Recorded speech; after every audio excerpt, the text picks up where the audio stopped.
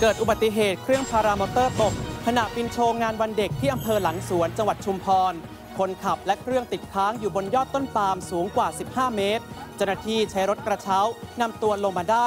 คนขับเผย ขณะบินอยู่เครื่องดับกลางอากาศ 13นาฬิกา30 นาทีผู้บัญชาการตำรวจนครบาล สั่งย้าย 5 เสือสอนอวังทองหลาง ไปช่วยราชการที่กองบัญชาการตำรวจนครบาล หลัง DSI บุกจับสถานบันเทิงย่านพระราม 9 คดีค้ามนุษย์ พบเด็กอายุต่ำกว่า 18 ปี พร้อมรอผลการตรวจสอบอย่างชัดเจนอีกครั้ง